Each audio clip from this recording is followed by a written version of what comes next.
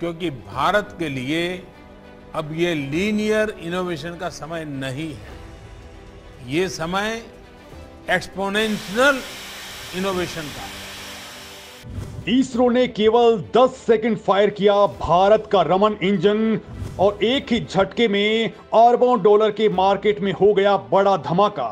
इसरो की क्रिटिकल तकनीक ने उड़ाए नासा और चीन की होश अंतरिक्ष में अमेरिका और चीन की प्राइवेट दादागिरी को सीधा चैलेंज।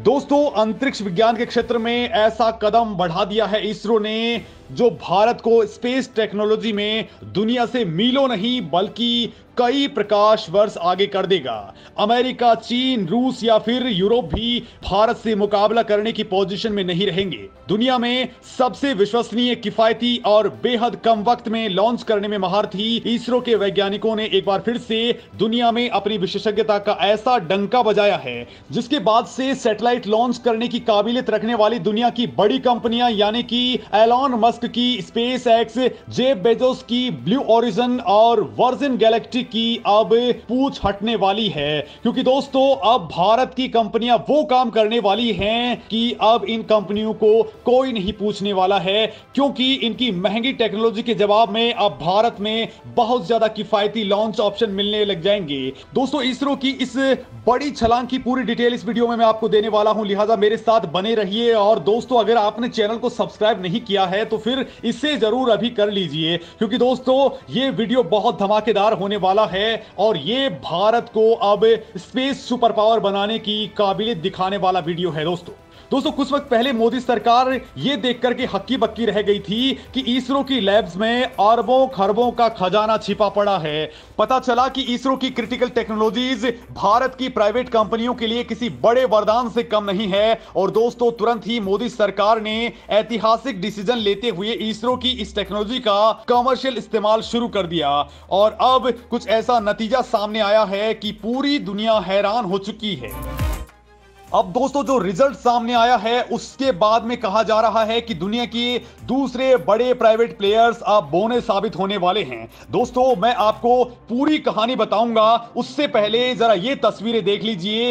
ये लैब इसरो की है, ये फैसिलिटी इसरो की है। इसरो के वैज्ञानिक लगे हैं। लेकिन दोस्तों, ये जो इंजन फायर हुआ है, वो इसरो का नहीं है। ये इंजन है भारत की सबसे तगड़ी प्राइवेट कंपनी स्काई रूट का, जिसने एक नया इतिहास लिख दिया है। मतलब दोस्तों, जिस वक्त हमारा चंद्रयान थ्री धरती से इकहत्तर हज़ार तीन सौ इक्यावन किलोमीटर से निकल करके अब चाँद पर जाने को बेताब है, कमांड एंड कंट्रोल सेंटर से भारत के वैज्ञानिक इंजन को लगातार चलाने में लगे हुए हैं। ठीक उसी दौरान दोस्तों, केवल 10 सेकंड के लिए कुछ ऐसा हुआ है, जिसे देख करके अमेरिका छोड़िए, चीन, यूरोप और रूस के अंदर खलबली मच चुकी है। क्योंकि दोस्तों, ये इंजन पूरी तरह से सक्सेस हो चुका है। मतलब इसरो ने स्पेस स्पेस इंडस्ट्री में अब वो पहला बड़ा प्लेयर खड़ा कर दिया है, जो विदेशी कंपनियों को सीधी टक्कर दे पाएगा। दोस्तों, इससे भारत के स्पेस सैटेलाइट लॉन्च सेक्टर के अंदर बूम आएगा और देश कमाई के बड़े बड़े ऑप्शंस देखने लग जाएगा। बड़ी बात तो यह है कि दोस्तों, कि ये कंपनी अपने लॉन्च व्हीकल्स की जाँच में इसरो की तकनीकी विशेषज्ञों की मदद भी ले रही है। साल 2018 में पवन कुमार चांदना और नागा भारत डाका ने इस स्काई रूट एरोस्पेस कंपनी की नींव रखी थी। निजी तौर पर सैटेलाइट लॉन्च व्हीकल बनाने वाली एक प्राइवेट कंपनी है ये और कंपनी छोटे उपग्रहों को स्थापित करने वाले तीन लॉन्च व्हीकल्स बना चुकी है, जिसमें एक का तो टेस्ट भी हो चुका है और उस दौरान भी इसरो ने ही बाकायदा इसका टेस्ट किया था। स्काई रूट ने अपने पहले लॉन्च व्हीकल का नाम विक्रम वन रखा है। स्काई रूट एरोस्पेस पहला भारतीय स्टार्टअप है, जिसके ज़रिए देश के पहले निजी रॉकेट रमन का भी टेस्ट किया जा चुका है। दोस्तों कंपनी तीन रॉकेट्स पर काम कर रही है। इसरो संस्थापक विक्रम साराभाई की याद में इन्होंने Vikram one Vikram two, Vikram three इनके नाम रखे हैं। तो वहीं दोस्तों, कंपनी ने इंजन का नाम रमन रखते हुए इसके ज़रिए नोबेल पुरस्कार विजेता सर सीवी रमन को श्रद्धांजलि देने की कोशिश की है। रमन इंजन ने यूडीएमएच और एनटीओ तरल ईंधन का इस्तेमाल किया है। चार इंजन वाला ये क्लस्टर 3.4 के एन थ्रस्ट जनरेट करता है। दोस्तों, ये इंजन कई उपग्रहों को एक बार में ही अलग अलग कक्षाओं के अंदर स्थापित कर सकता है। और दोस्तों, अब इसी स्काई रूट के दूसरे इंजन को लेकर के भी इसरो ने बड़ी गुड न्यूज़ दे दी है। दोस्तों, इसरो ने कहा है कि उसकी लिक्विड थ्रस्टर्स टेस्ट फैसिलिटी में स्काई रूट के रमन टू इंजन का टेस्ट भी सफल हो चुका है जिसे स्काई रूट ने समुद्र लेवल पर 820 न्यूटन और वैक्यूम में 1460 न्यूटन का दबाव पैदा करने के लिए बनाया है। इंजन में मोनोमिथाइल हाइड्रोजन और नाइट्रोजन टेट्राक्साइड को ईंधन के तौर पर यूज़ किया गया है। इस इंजन को केवल 10 सेकंड्स के लिए फायर किया गया और ये पूरे पैरामीटर्स पर खरा उतरा है।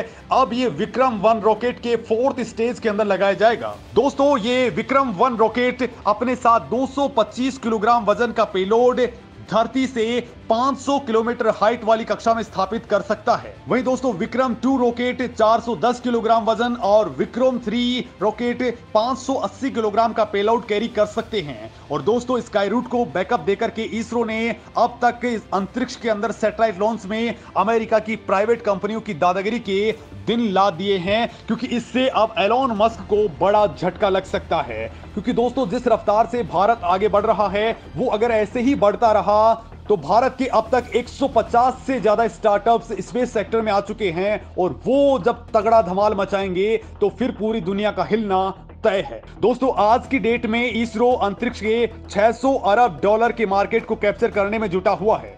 और इसमें चीन छोड़िए, नासा और स्पेस एक्स भी धड़ाम होने वाले हैं, क्योंकि बहुत ही कम लागत में भरोसे के साथ स्पेस मिशन लॉन्च इसरो कर रहा है और जिस तरीके से इसरो अपनी तकनीक को भारत की कंपनियों को ट्रांसफ़र कर रहा है, उससे भारत मैन्युफैक्चरिंग हब बनने की ओर आगे बढ़ चुका है। अब इसरो रॉकेट ही नहीं, बल्कि एक स्पेस क्राफ्ट यानी कि स्पेस प्लेन बनाने में भी कामयाब हो चुका है, जो आने वाले दिनों में पूरा हो जाएगा। और दोस्तों, इसके बाद अर्थ के लोअर ऑर्बिट में कोई भी सैटेलाइट लॉन्च करना चुटकियों जैसा खेल हो जाएगा और ये बहुत ही सस्ता होगा। आने वाले वक्त में ये इंडस्ट्री बहुत तेज़ी के साथ में ग्रोथ करने वाली है। दुनिया में सैटेलाइट मैन्युफैक्चरिंग का जो सेक्टर 2020 के अंदर 2.1 बिलियन का था 2025 में 3.2 बिलियन का होने वाला है। मतलब कि कुछ ही सालों में इतना बढ़ चुका है और ये आगे अब मल्टीप्लाई होता चला जाएगा। इससे भी बड़ी बात यह है कि दोस्तों, अब सैटेलाइट बनेंगे तो उनको लॉन्च करने के लिए सर्विस भी वैसे ही चाहिए होगी और वो अगर सस्ती है तो फिर इसके लिए सबसे ज़्यादा लोग टूट करके पड़ेंगे।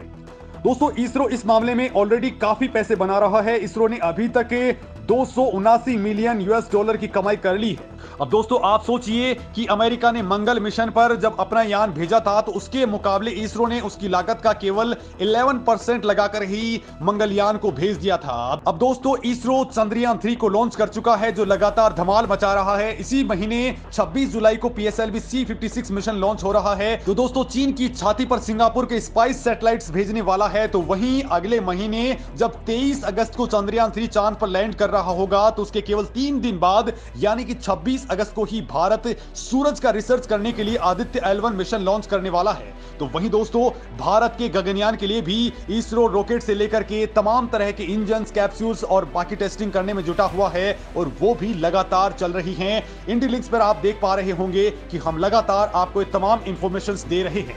और दोस्तों, अब इसरो अगले ही महीने गगनयान का पैड एबो टेस्ट करने वाला है। यानी दोस्तों, अब इसरो साल 2025 तक 600 अरब डॉलर की मार्केट को कैप्चर करने के लिए बहुत बड़ा मौका तलाशने में जुटा हुआ है। और इस मामले में आपका क्या कुछ कहना है, कमेंट करके ज़रूर बताइए दोस्तों।